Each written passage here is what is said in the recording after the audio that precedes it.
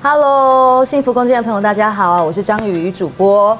那么其实啊，在今年因为这两年疫情关系，有很多人加入了买房的行列。那今天我们的直播呢，非常精彩，因为要告诉你怎么样可以买到一间好房子，然后还有呢。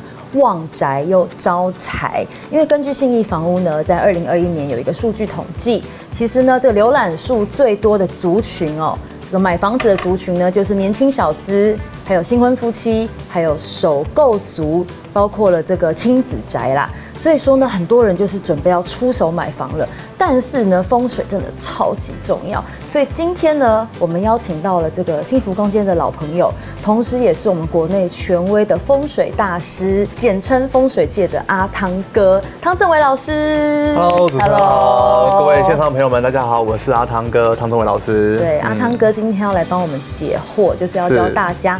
怎么样买好房子可以事业蓬勃发展赚大钱？那同时呢，今天不要忘了哦，等一下要留言给我们，还有按赞分享这个直播，我们就会抽出这个大户的口罩用的香氛磁扣，有五个哇，有五个要送给大家。好，节目开始啦，今天马上就要来关注我们的内容。首先要请问老师，首购族买房需要注意的五个。最重要的事情是什么？我相信首购组应该都蛮重视 CP 值的，对，所以功课也会做的很多哦。但不过我觉得，如果以风水来考量的话呢，其实我们要打造一个让你呢可以住在一个聚宝盆的风水宅当中。聚宝盆，对，还蛮重要的，对哈，就变成一个金鸡母啊哈。其实我觉得首购组来讲的话呢，第一个呢，你还是要先挑选，就是说这个房子的坐向，可能跟你有没有合适。对，有时候，但是很多人都搞不清楚什么东南西北在哪边，对不对？这坐北朝南就是很好的意思。哎，不一定哦。对，其实呢，我觉得当你看不懂坐向的时候呢，也没关系。最起码呢，你要了解说这个房子到底采光好不好。嗯。因为采光呢是最基本面嘛。如果你采光不好，你家里面一定会湿哒哒的，湿气很重。好，但这个最基本的要素，所以呢，我觉得还是要先看一下你房子的坐向。好，坐向就会影响什么？你的采光面，好，也会影响你的这个房子的受风面，好，有没有通风？所以我觉得，呃，当然如果东南西北还搞不清楚，最起码我们人站在这个房子里面，你去感受一下这个房子的这种温度。好，打个比方，如果说你今天呢买一个房子，你进去呢，你会发现，哎，外面很热，嗯，但里面呢异常的凉爽。那这房子代表它有点，哎，你可能要小心一点，干净，有一点阴，对不对？哈，为什么有点阴呢？或许里面没有出事情，但很有可能是因为它里面的这种可能通风太过对流，然后也会或者湿气太重，阳光比较照不进来，而造成里面的温度呢可能会稍微低一点点。那这种温度太过低的话呢，其实它不聚人气，你住久了你可能也不太会旺。哦，所以除非你的命格很特殊啦，对，会感觉好像在里面有点那种很辛苦，有没有？对，哦，没有阳气，就是阴盛阳衰，那你可能就要比较小心一点。所以老师会配合这个人他的。五行还是什么吗？对，如果说你当然今天相信风水的话，但建议你请一个专业的老师哦，去帮你看一下所谓的人宅合一，就好像我们开车要人车一体，有没有？那个车就很好开。那人宅合一就是说呢，我住在里面呢，哎，我住进去会觉得好像很好睡，对，然后运势也特别旺。好，当你运本来走不好的，可一住进去呢，你会让这个房子的磁场来帮助你，然后每天呢活得都很神清气爽。听起来很完美，是。但是房子好像有分很多类型，比如说像我们很多人很向往的这个透天透天，对不对？透天的房子就是你独栋的，或是集合式住宅都没关系，只要是楼房，你就记得你站在你家的客厅，往你的大门看，那个就是你的像。对，我们人在屋里面往大门看出去，好，那就是你的像。例如说，假设那个地方是你的前面是北，那就是坐南朝北。哦，所以是从房子里面看到大门这样子，对对对，就是那个像。对，好，那如果你今天是买公寓大楼型的，那就是以你的客厅为主哦，不是以你的大门，以客厅，就是客厅的阳台，嗯，阳台看出去呢，那就是你的像。或是如果你没有阳台啊，对对对，如果没有阳台看采光，最大的落地窗或最大的窗户，那个地方就是你的像。除非你这个客厅完全没有采光。也没有阳台，我们才引这个楼层的大门为向。那如果是这样的话，我们最关心当然还是财位在哪里啊？要怎么看财位？好，财位的话呢，就是很简单。我们人呢，不管你是透天的房子还是大楼的房子，我们就站在大门的地方。假设你的门是开左边，那你的明财位就是进门的四十五度角，右斜四十五度角是右斜。对，那如果你的门是开右边，那就是左前四十五度角。这个是每一个人都有的。好，那一般我们财位有三种啊，一个就是明财位嘛，每一个人都有。当然还有这个房子方位的财位，还有就是你个人本命八字的财位。好，但是我觉得后面两个会有点复杂。对。但你进门的四十五度角顾好，那什么叫明财位呢？明财位就是你事业上赚到的钱能不能够有效的存下来，就是明财位啊。如果你的家里的明财位是空的，哦，那就不得了了。你就是左进右出，钱财 一路空，这么可怕？那你会说，那明财位怎么看是空的呢？有些人的四十五度角呢，刚好是一片窗户，有没有？对，或者是落地窗啊等等的，那这个就财位见空。那有窗户的话怎么办？好，你就可能要点个灯，有没有？你可以点个盐灯啊，或点个立灯，有没有？那个灯呢，不是摆好看的哦，是要把它点起来，让这个光有一个动能。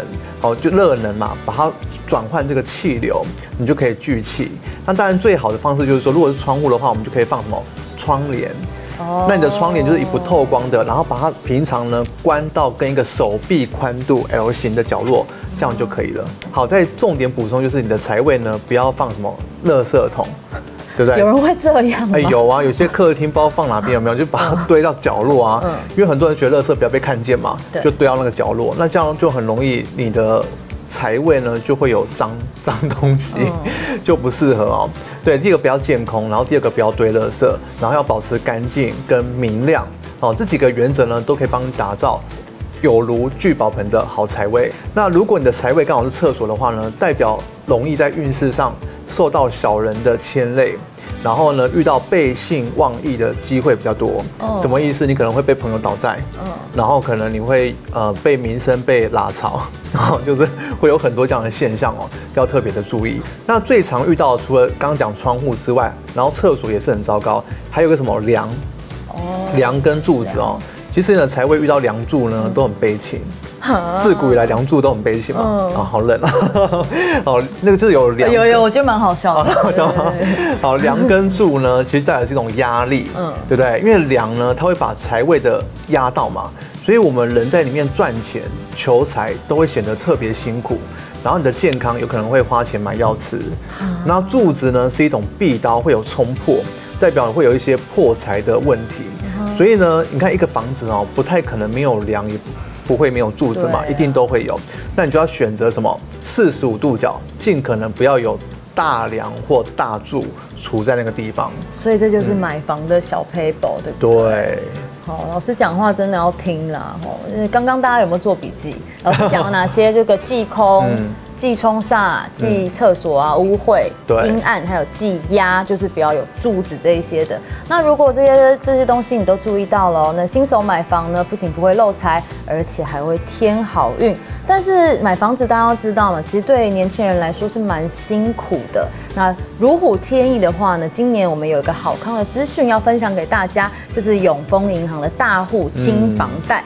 那像我们都知道嘛，一开始买房比较辛苦。那如果有这个房贷可以帮助你一臂之力的话，那你是不是应该要来用一下？它有几个特点跟大家分享。第一个是线上试算很方便，因为呢，你知道我们很讨厌跑银行，当然可以省事就省事。它这个一指呢，就可以非常优雅的来让你办好你的房贷。所以不论是装潢呢，还是你想要申请什么样的贷款，都可以一直申请。不用再频繁的跑银行，省下你的时间。那第二个就是专属你的理财型房贷，而且这个还款的本金可以灵活的来运用。嗯，老师有没有觉得这个非常棒？我觉得很好，光听一指就可以贷款，就只带财运进来了。对，而且按日计息哦，它是免动用手续费，非常的方便。是。再来就是房贷搬家也可以帮你省，因为它提供这个转贷的服务，每个月还款的压力真的会比较轻。确实，而且有些多贷的话，也可以有装潢的费用，对不对？没错，然后最重要就是。是呢，它是你装潢的好帮手，因为它的宽限期哦，最长是到三年呢。哇，三年确实压力减轻很多。对，因为你保留一点现金留在身上，不管你要投资还是灵活运用，都非常的方便。有风险管理，没错。然后它最高的成数呢，可以贷到八五成。那优惠期间其实是在二零二二年的十二月三十一日止，所以呢，今年要好好的来把握。那详细内容还是要以永丰银行最新的公告为准。那老师听完这个，会不会让你想到一些我们以前首购的辛酸？确实会，因为其实呃，我自己本身在首购的时候，我是存了蛮久的这个投期款。对，那因为我们每一个人都会有想要买的房子的户型嘛。对。那你看到的这个房子呢，你就觉得哇，它的总价很高。嗯。但是呢，你就要从那个投期款一直投，一直筹。其实投期款是最辛苦的。没错，就一大笔的现金就是这样子就出去了，就出去了。对，而且重点是你投期款筹到了，买到了，然后你就开始发现说，我的房子要买什么买什么，才发现那个真的是最累的。还有哪三大项目，老师要接着来教我们到底要。怎么样来聚财呢？像新屋装修的话，哪一些布置就是在装潢之前可以注意的？好，布置我觉得就是很多人就会一定要买家具嘛，嗯，还有买一些家饰品，对不对？好，那其实我常被听到问就是说，老师，请问我的时钟要挂哪边？哦，对，随便挂就好了嘛。一般我们的直觉就会说啊，我们的时钟就是挂在客厅的很显眼处，对，好看的地方嘛。但是其实时钟呢，如果就风水上的摆放呢，哈，先跟大家。简单的讲就是说，一般如果我们挂，你就要记得时钟一定顺时针走。但是呢，你要记得它顺的过程当中，你不要那个最终的流向把它转去门外了。哦。代表你的这个风生水起，因为时钟是一个动的，它是会一直动的，没有？装电池也好，或者它机械式也好，它都会一直动。那它在动的过程当中的话，这个时指针啊，尤其秒针，不要这样冲出去外面，就是冲到你的门外，弄到门的意思，代表你的钱呢会往外跑的意思。还有你鱼缸有没有？很多人会说我要养鱼可不可以？如果有鱼缸的话呢，要怎么处理呢？像鱼缸不是有个那个进水口，就打氧气的那个有没有？那那个水的话呢，你要记得哦，不要流向你的大门外，嗯，也不要流向你的窗外，哦，因为窗跟门都是引气的地方，所以我们要风生水起的话呢，你要记得就是这个风啊，气口跟水要同个方向进来的，那你这样才不会导致于漏财的问题。原来，那如果这养鱼实在太复杂啦，那我就种盆栽好了。种盆栽有没有什么小配宝？好，其实我就重点讲，就是说风水的鱼缸，不管是风水还是怎么样哦，鱼跟植物呢都不要放在房间。本身也不健康啦，因为其实那个鱼啊，鱼缸有湿气，嗯，其实对久了居住的人的健康也会有影响。哎，对，我觉得老师讲很有道理耶。最近不是有一个剧叫《金鱼期》嘛，嗯，每一个外遇的都在家里放金鱼，都在房间放金鱼，所以不不能把那个鱼缸放在房间，反而没有如鱼得水。对，然后去跟外面的大家都是一直就是烂桃花台 不断，对不对？对对对。那如果要放这种，比如说一些小物件啊，还可以放什么？好，其实如果说像刚刚讲的盆栽，对不对？盆栽的话，你就是家里不要放那种很尖尖刺的，你可以放阔叶的。那只要房间不要放之外呢，其他地方一个空间或一个地方不要放超过三盆的盆栽。因为盆栽的话，就是你看晚上会吐二氧化碳嘛，对，所以其实它对呃整个空气啊，或者说比较没有那么加分啊。但空气然早白天都加分，晚上没有哦，所以盆栽要特别注意，因为植物呢也比较容易聚阴。可是如果你家里要摆植物的话呢，可以绑上一些红缎带、红丝带，转阴为阳哦。那例如说有一些煞气的话呢，你可以用一些什么八卦镜啊去化煞。可是要跟大家提醒哦，很多人相信风水，可是他乱误用了风水的小物。例如说，呃，八卦镜，那就八卦镜是要放室外空间的，而不是放室内空间的。放室内会怎么样？你会让你的家人呢变得口角争斗不断。啊，对，因为这种是化煞的嘛。可是人不是煞气啊。可是你照到你的家里的空间的话，让你的这个空间的磁场变得反而不聚气。哦。你应该放在外面，可能有一些煞气的地方，就挡煞这样。对对，没有错。那如果说平数小啊，无法去改变这个房子的话。呃，建议大家我们可以用一些风水的小物呢，来去做一些调整。对，赶快教我们。好，好，其实呢，如果说风水的小物当中呢，我蛮推荐厨房就可以放像麒麟，有没有？嗯，放在你的抽油烟机的上面，这样子，可以挡煞就对。对，我们家也有放。是，但是我觉得现在买房哦，不管年轻人，或者说呃我们一般的呃就是上班族啊，或者你有家庭的，买房其实最大的问题就是地段决定你的价格嘛。嗯，但是有时候你要挑到好的地段，那你可能就会面临到。呃，可能户跟户之间很近，嗯，有没有？因为方便性，那可能会有外煞的影响。外煞，例如很近的高楼算吗？很对啊，例如说我楼跟对面的楼很近的话，第一个有可能你的采光会影响，嗯，第二个你的隐私也不够好，第三个呢，你看不出去远景。对对，那当你这三个都没有具足的时候呢，人住在里面也会感觉很憋嘛，好不舒服。那如果还有就是最怕什么壁刀。例如说 A 建案跟 B 建案呢，它可能并不是这个面对面盖的，它可能是交错盖的。嗯，那可能它的那个壁刀啊，会射到你的家里面，看出去就是对着你一把刀，对不对？超级不舒服，也是有血光的问题，或者是两栋大楼中间的缝隙。形成双壁刀，或形成一个天斩煞，也会影响我们住在里面的人哦。哇，老师讲其实是非常非常实用诶，就是大家在家里就可以解决。所以如果呢，今天你听了还有疑惑的话，这个居家的招财旺宅的风水，就可以来找我们的阿汤哥老师。那如果你要居家装潢的话呢，当然就是找幸福空间是最专业的。那如果大家想要有非常方便的贷款的话，当然就是要找这个永丰大户的轻房贷。那详细资讯呢？呃，都可以到官网来了解哦。那再问老师啊，其实像年轻人买房啊，我我自己蛮好奇的啦，就是这个三四十岁的首购族，大概有多少比例是非常相信风水的？好，但会找我帮他看，都是相信风水的。呃，对对。好，但是如果说以目前来看的话，我自己的实物经验啊，可能有些是呃家里的人买给他的，或什么，大概有七成的比例。其实算蛮高的，高哎，对，为什么呢？因为其实很多人他也会觉得说，我买辛苦买这个房子，我住进去，当然希望帮助我们的运气嘛。对，对，只是我觉得发现很多人是，呃，他相信风水，但是他不太会去跟他的亲朋好友分享。为什么？偷偷来就对。对，偷偷来，因为大家不偷偷赚，觉得他很迷信这样。哦，但是我觉得风水哦是蛮科学的，因为其实你看我刚刚讲风水，他就讲了房子的通风嘛、采光嘛，这是最基本的嘛。那怎么样会影响它的采光或通风呢？其实就是跟你的第二装修格局有有关系，还有你的房子的方位哦。所以你只要把这个应对好呢，你都可以住到一个豪宅。哇，所以其实呢，今天听文老师讲，是不是收获非常的多呢？那大家不要忘了哦，其实好的风水还会带给你旺宅招财之外，也会让你家庭比较和乐，事业蒸蒸日上。那么希望今天的资讯对你们是非常有帮助的，也不要忘了今天我们有送礼物，记得在底下留言、分享、按赞。那今天要送出这个五个大户的香氛磁扣给大家，所以小资也是大户啦，都会受到非常好的服务。对，那今天也希望你们喜欢我们的节目哦，要记得哦，永丰这个大户的数位账户，赶快去申请，一指就可以呃申请完成，不用再跑银行，让每一个人都是大户。那再来要。啊，对了，还有一个东西要跟大家分享哦，因为这个线上，我我现在很喜欢用这个 app 来处理一些转账啊、投资，对对对对，嗯，哎，它这个大户的 app 很厉害，它整合了消费、投资、储蓄跟弹性资金有四个核心的服务，意思就是说，你所有日常的资金都可以用这个 app 把它整合起来，像新台币这个优利活储，嗯，老师应该也其实老师应该也蛮懂理财的，啊因为像这个懂房子嘛。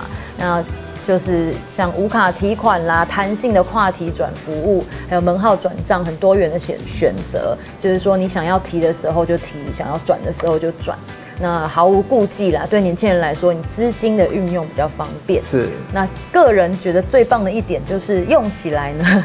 赏心悦目，因为这个 app 它的是走一个金融美学路线。刚刚老师我们还在讨论说，哎，这黑金风格你觉得是不是？我看它页面哦，还蛮金水相生的。哦，我们在命理来讲，金水相生就是一个风生水起，而且会带财运哦。所以我嗯，我觉得其实关于理财当中，他有用心去设计他的这一个页面了。我相信真的，他对他的一些。